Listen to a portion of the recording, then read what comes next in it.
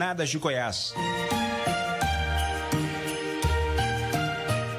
Papai Noel vai ter trabalho para achar mais bonita, porque tá tudo é bonito verdade. lá. Né? É. Muito bom. O Arão fica por aqui, você já sabe, né? No Globoplay dá para rever todas as nossas reportagens. Assista agora as notícias do seu estado.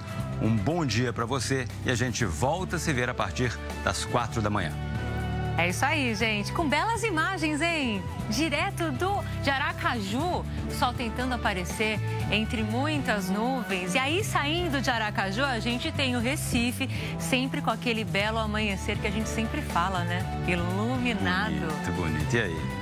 E Petrolina de um lado, Juazeiro do outro, dando um bom dia especial para você de cada cantinho do país. Saímos do Nordeste finalizando com o Sul, direto de Porto Alegre. Atenção, risco de temporal. Tchau. Tchau. Valeu.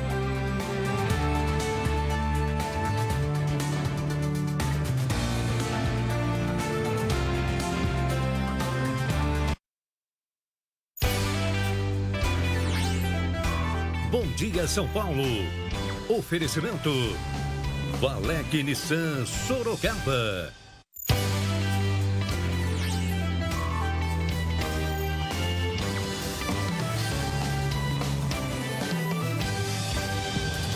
Olá pessoal, tudo bem? Muito bom dia. Terça-feira, dia 14 de dezembro, agora 6 horas em ponto. Vamos para as imagens aí de São Paulo, marginal do Rio Tietê, perto da Ponte do Limão, Ponte da Casa Verde, vai tudo numa boa por lá. Manhã bem nublada aqui na capital paulista. Os nossos repórteres já na rua, Nicole Fusco, o que você conta? Bom dia.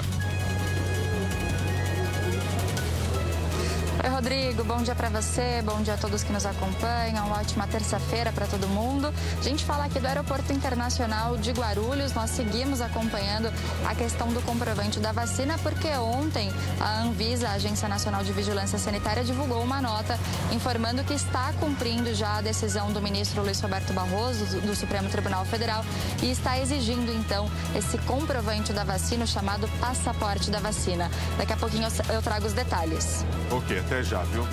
Carol e Anelli, bom dia. Oi, Rodrigo. Bom dia para você, bom dia a todos. Nós estamos seguindo para o Brás, região central de São Paulo. Nós recebemos uma reclamação que por lá tem um ponto de lixo que o pessoal fica descartando ali entulho, tem muita sujeira, está incomodando os moradores, então nós vamos para esse lado.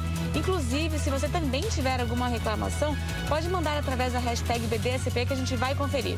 Rodrigo? Tá na esquina da doutora Arnaldo com a, com a Rebouças, é isso? Não. Isso, eu tô aqui na Pedro Álvares Cabral, pegando um pedacinho aqui dela. Tá bom. 23 de maio agora. Outro trecho então de São Paulo. Valeu, Carol e Anelli.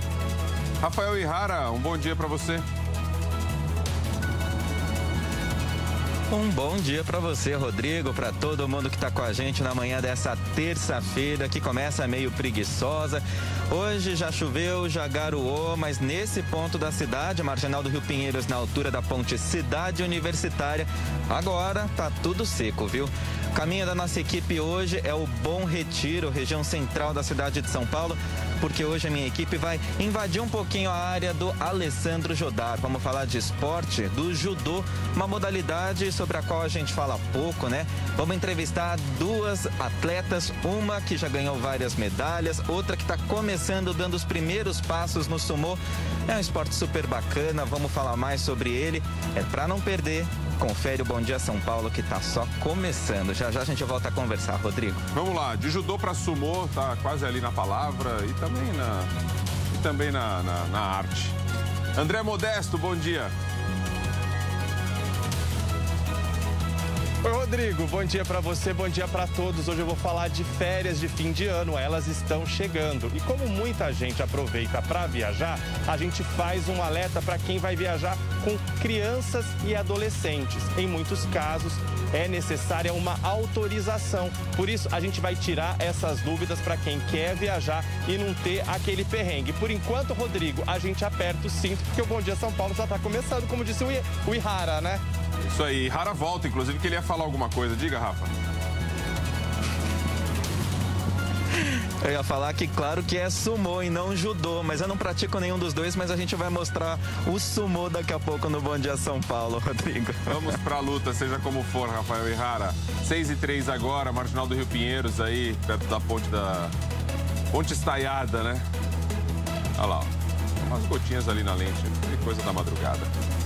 Cíntia Toledo, bom dia, Cíntia. Tudo bem, Rodrigo? Bom dia para você, bom dia para quem acompanha a gente. Pois é, foi coisa da madrugada, mas hoje vai ser meio que esse chove para, viu? Dia inteiro assim? Vai ser o dia inteiro assim, um dia mais fechado, com poucas aberturas de sol. Mesmo assim, máxima de 27 aqui para a capital. Perguntei para o nosso meteorologista, o Gabriel Canevari, por que, que vai esquentar tanto, já que o sol quase não vai aparecer, e ele me disse que